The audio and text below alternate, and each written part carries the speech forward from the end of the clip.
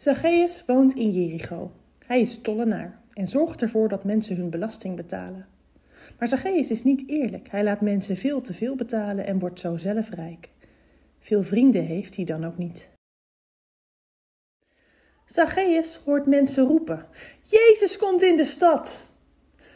Over die Jezus heeft Zacchaeus al veel gehoord. Hij wil hem wel eens zien.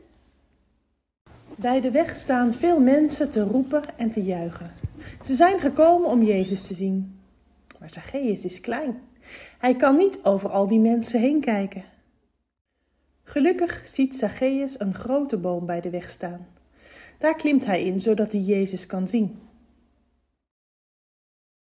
Als Jezus langs Zacchaeus komt, blijft hij plotseling staan. Zacchaeus, kom eens uit die boom, zegt hij. Vandaag wil ik bij jou thuiskomen. De mensen mopperen. Gaat Jezus nou echt met die nare man mee? Waarom wil Jezus nou uitgerekend naar zijn huis?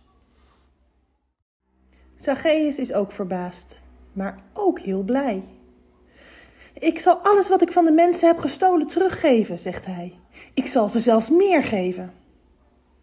Jij luistert naar God, zegt Jezus.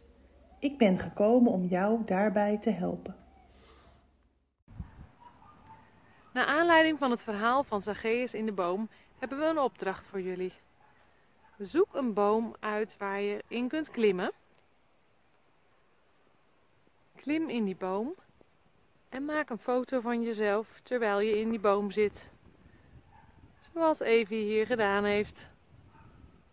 Stuur je foto naar ons toe.